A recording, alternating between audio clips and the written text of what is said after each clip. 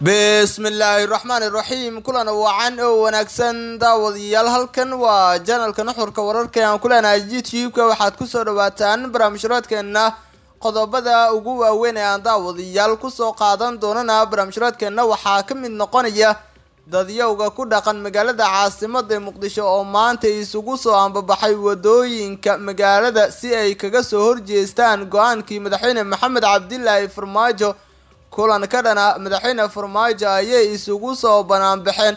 Sidoo kale kulankan waxaa lagu taageerayay ra'iisul wasaare maxamed xuseen rooble.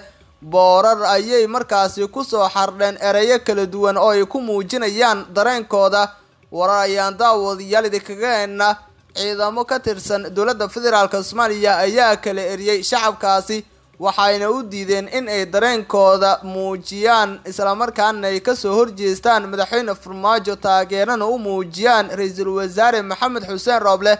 Saraakiisha amarkaasi bixiyey waxaa ka mid a farxaan qarole saacadaha soo aadan ayuu ra'iisul wasaare maxamed xuseen rooble damacsan yahay in uu tallaabo ka qaado saraakiishaasi oo uu ku jiro farxaan qarole wasiirka amniga cabdulaahi maxamed nuur oo arrintaasi ka hadlay waxa uu sheegay in uu tallaabo adag ka qaadayo saraakiishii joojiya dibadbaxa. Haddaba xiisad kacsanaan ah ayaa ka jirta magaalada caasimada muqdisho. Shakhsiyaad horleh ayaa weyn kara xilalkooda. Kuwo cusub ayaana la magacaabi karaa.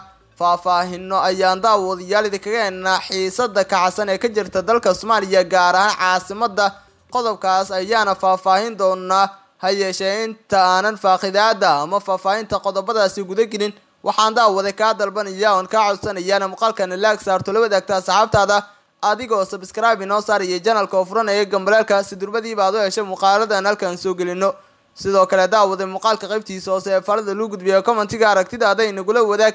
Markaana daawade waxaad ku soo dhawaataa qodobadii dulmarkaa soo daawatay oo intaasi ka sii faahfaahsan anigoo ku bilaabaya dadyowga ku dhaqan magaalada caasimada ee muqdisho kuwaasi oo loo yaqaano canshuur bixiyayaal ayaa waxa ay maanta isugu soo ambabaxeen waddooyinka iska gala degmooyinka markaasi gobolka banaadir waxaana ay ka cabanayeen go'aankii madaxweyne maxamed cabdilaahi farmaajo soo saaray oo uu shaqada kaga joojiyey ra'iisul wasaare maxamed xuseen rooble oo u xil saaran taabagelinta iyo sidoo kaleba hirgelinta arrimaha doorashooyinka dalka ee wakhtigan soconaya. Dadkan oo markaasi tiradooda aada u badneed ayaa waxa ay soo buufsadeen boorar ku xardhan ereyo kala duwan. Ereyadaasi ayaa taageero loomu loogu muujinayay ra'iisul wasaare maxamed xuseen rooble. Ra'iisul wasaaraha halheyskii uu keenay islamarkaana ku jira khudbadii uu jeediyey kadib shaqo ka joojintii lagu sameeyey iyo ciidamadii lagu gooyay xafiiskiisa dabadeed oo markaasi aleyskaasi oo ahaa afgembi maya doorashaha ayaa waxa ay ku soo xardheen boorarkooda. Waxa ayna ku banaanbaxayeen waddooyinka kala duwan ee magaalada caasimada ee muqdisho. Dadkan ayaa waxaa ku jira xildhibaano. Waxa ayna muujinayeen dareenkooda shacbiga ah ee ku aadan xaalada waqtigan ka taagan dalka taasi oo ah xaalad markaasi qasan oo ka dhex oogan labada mas'uul ee dalka ugu sareysa waa ra'iisul wasaaraha iyo sidoo kale madaxweynaha. Dadkan oo dastuurka uu siinayo xoriyad ah in ay markaasi muujiyaan dareenkooda ayaa waxaa kala eriyay ciidamo ka tirsan dowladda federaalk soomaaliya kuwaasi oo taabacsan. Madaxweynihii hore ee dalka soomaaliya maxamed cabdilaahi farmaajo. Ciidankan ayaa waxaa amar markaasi siiyey sida ay xogta nagu soo gaarayso farxaan qarole oo dhowaan. Madaxweynaha mudaxileedkiisa uu dhammaaday ee soomaaliya maxamed cabdilaahi farmaajo iskuol bulusiya ugu xiray darajada generaalnimo. Hadda xaalada soomaaliya waa kacsan tahay. Dadka muqdisho oo ah markaasi kuwa canshuurta bixiya ayaa loo diiday in ay ku banaanbaxaan islamarkaana dareenkooda muujiyaan waddooyinka magaalada caasimada ee muqdisho iyagoo markaasi banaanbixi ka dhigaya. Ra'iisul wasaare maxamed xuseen rooble ayaa arrintan ka xumaaday. Waxa uuna markaasi sheegay in aan loo dulqaadan karin dadka arrintan ka dambeeya waxa uuna sheegay in uu ka qaadayo tallaabo adag. Fariintaasi ayuu soo dhexmarsiiyey wasiirka amniga ee xukuumadda xilgaarsiinta ee soomaaliya cabdulaahi maxamed nuur. Cabdulaahi ayaa horey uga tirsanaa ciidamada badbaadada qaran gaar ahaan mucaaradka. Bishii abril markii muddo kororsigii farmaajo lala dirirayay oo ahaa muddo kororsi sharci daro ah islamarkaana ku kacayay laba sano. Hadda shacbiga soomaaliyeed gaar ahaan kuwa ku dhaqan caasimada soomaaliya ee muqdisho waxaa loo diiday in a afkaartooda ku aadan khilaafka rooble iyo farmaajo cabiraan islamarkaasina ka hadlaan gabdho wiilal dhalinyaro ah oo markaasi han kale siyaasadda oo aqoon-yahanin ah ayaa ku jiray banaanbaxan waxaana mudneed ayay leeyihiin dadka faaqida arrimaha siyaasadda in markaasi loo daayo banaanbaxooda islamarkaasina ay muujiyaan dareenkooda ku aadan xaaladda waqtigan ka jirta dalka ee markaasi ah khilaafka u dhexeeya ra'iisul wasaaraha iyo sidoo kale madaxweynaha haddii banaanbaxan ay ka soo horjeesteen saraakiil taabacsan. Madaxweynaha mudaxileedkiisa uu dhammaaday ee soomaaliya farmaajo maxay tahay tallaabada xigta ee la saadaalin karo? ayay isweydiinayaan. Dadka faaqida ama darsa xaaladda siyaasadeed ee dalka iyo shacabka soomaaliyeed guud ahaan. Tallaabadan ayaa waxaa la aaminsan yahay in ay ku xigi karto in xilka qaadis lagu sameeyo saraakiishii ka hor yimid sidoo kalena ciidamada badbaadada qaran ay ka hortagaan haddii tallaabada xilka qaadista ay ka hor yimaadaan saraakiil hor leh. Madaxweyne farmaajo ayaa ku qanacsanayn qaabka ay wax u socdaan banaanbaxan in la diido ayuuna ku faraxsan yahay dadka markaasi villa soomaaliya ku sugan sida aan ka soo xiganay. Ciidamada ammaanka ee dowladda soomaaliya islamarkaana taabacsan madaxweyne farmaajo ayaana waxa ay markaasi kala yareeriyeen dadkaasi shacabka oo isugu soo baxay. Qeybo ka mid a degmada hodan ee magaalada caasimada muqdisho si ay u muujiyaan dareenkooda ku aadan xaaladda cakiran ee ka taagan dalka. Dadweynaha ayaa dhigaya dibadbax looga soo horjeedo madaxweynihii hore ee soomaaliya madaxweyne farmaajo gaar ahaan tallaabada uu markaasi iskudayga afgembi oo uu qaaday maalin uun ka hor balse guul daraystay ama dhicisoobay waxaana kala dareeriyay ciidamada ammaanka ee dowladda federaalk iyo ee soomaaliya dibadbaxa ayaa sidoo kale waxaa qeyb ka ahaa siyaasiyiin ka tirsan mucaaradka sida axmed macalin fiqi oo ka soo muuqday banaanbaxa oo sidoo kale lagu taageerayay ra'iisul wasaare maxamed xuseen rooble. Axmed macalin fiqi oo ka hadlayay tallaabada ay qaadeen ciidamada ayaa sheegay in amarka lagu joojiyo dibadbaxooda uu ka soo baxay taliya ku-xigeenka booliiska soomaaliya iyo sidoo kale taliyaha qeybta booliiska ee gobolka banaadir asgar ay soo direen taliya ku-xigeenka booliiska kaniif iyo taliyaha gobolka banaadir farxaan qarooleh ayaa la ii sheegayaa in ay is-hor istaag markaasi ku sameeyeen shacab banaanbax si nabadgelyaha u sameynayay ama ugu sameynayay degmada hodan oo aan qeybtiisii hore aan goobjoog ka ahaa ayuu yidhi siyaasiga caanka ah ee axmed macalin fiqi soona noqday wasiirka amniga ee dowlad goboleedka galmudug.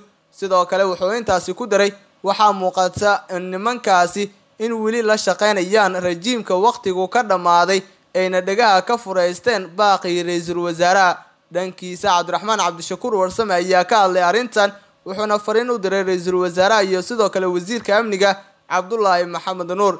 Dibadbax looga soo horjeedo afgembigii farmaajo ayaa waxaa hor istaagay farxaan qaroole iyo kaniif. Ra'iisul wasaare rooble iyo wasiirkiisa amniga waxaan ka codsanayaa in ay dadka ka hor wareejiyaan haraadiga keligii taliska ayuu yidhi cabdiraxmaan cabdishakuur warsame muqdisho ayaa waxaa ka taagan xaaladda siyaasadeed oo cakiran taas oo ka dhalatay khilaafka u dhexeeya farmaajo iyo rooble oo saameeya doorashooyinka dalka soomaaliya ka soconaya waqtigan. Wasiirka amniga cabdulaahi maxamed nuur oo arrintaasi ka hadlay ayaa waxa uu sheegay in ay tallaabo adag ka qaadi doonaan saraakiishii joojiyay dibadbaxa. Wasiirka amniga cabdulaahi maxamed nuur ayaa ka hadlay falkii maanta lagu joojiyay banaanbax ay dhigayeen dad shacab ah kaasoo looga soo horjeeday afgembigii la sheegay in uu isku dayay madaxweynihii hore ee soomaaliya maxamed cabdilaahi farmaajo.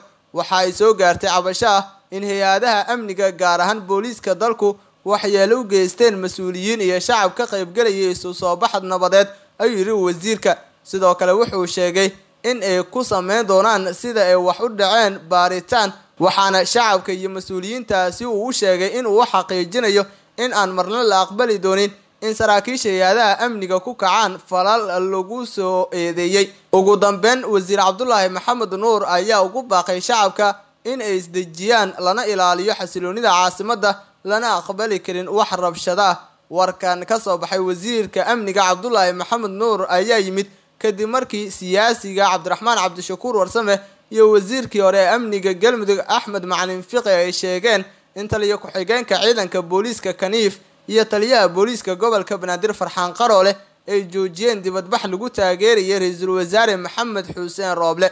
Ciidamada booliiska soomaaliyeed ayaa dhowr jeer oo kala duwan waxay hor istaageen banaanbaxyo looga soo horjeeday madaxweynihii wakhtigu ka dhammaaday ee soomaaliya maxamed cabdilaahi farmaajo. Banaanbaxyada magaalada ka dhacaya ayaa la leeyahay waa ay sii socon doonaan mucaaradka soomaaliya. Ayaa lagu eedeynayaa in ay kicinayaan dadka ku sugan magaalada caasimada muqdisho si ay kaga soo horjeestaan rajiimkii wakhtigu ka dhammaaday ee uu hogaanka u hayay maxamed cabdilaahi farmaajo. Mucaaradka soomaaliya haddii arrintan ay sii wadaan dadka muqdishona waxa ay aamini doonaan in madaxweyne maxamed cabdilaahi farmaajo wakhtigiisii uu dhacay islamarkaana laga adkaan karo wakhtigan shacabka ku dhaqan caasimadda ayaa sidoo kale waxaa markaasi laga soo xigtay in ay garab istaag weyn ee u hayaan ama ay u muujinayaan ra'iisul wasaare maxamed xuseen rooble kaasi oo wakhtigan daadihinaya arrimaha doorashooyinka dalka kuwaasi oo wakhtiganba ka soconaya ama ka dhacaya dowlad goboleedyada iyo sidoo kale magaalada caasimada ee muqdisho. Wasiiro sidoo kale dadka markaasi qeybahooda kala gedisan ayaa waxay wadaan dadaalo xoog leh oo lagu xoojinayo ama lagu doonayo sidii laisugu soo dhoweyn lahaa ra'iisul wasaaraha iyo sidoo kale madaxweynaha kuwaasi oo wakhtigan khilaaf xoogani uu ka dhex oogan yahay. Madaxda maamul goboleedyada galmudug hirshabelle iyo puntland axmed cabdi kaariyo qoorqoor cali cabdulaahi xuseen cali guudlaawe saciid cabdulaahi deni ayaa markaasi soo gaaray magaalada caasimada muqdisho waxayna ka qaybgalayaan shirkii golaha wadatashiga qaran ee uu iclaamiyey ra'iisul wasaare maxamed xuseen rooble ha yeeshee xogo soo baxaya ayaa waxay sheegayaan in ujeed kale ay damacsan yihiin oo ah in ay isku soo dhoweeyaan labada mas'uul ee dalka ugu sareysa islamarkaana ay xaliyaan khilaafkooda. Guud ahaana daawadayaal waa inaga intaa barnaamijhuraadka janalka nuxurka wararka aan kuleenahay youtube-ka muuqaalkan laag inoo saar subscribe inoo saar janalka faraga maraalka si durbadiiba aad u heshay muuqaaladan halkaan soo gelino. Sidoo kale daawada muuqaalka qaybtiisa hoose ee faadada igu gudbiya commentiga aragtidaada inagula wadaag tan iyo barnaamijkan. Kiisa kalena daawadayaal inta dib isugu kulmi doono nabadgelyo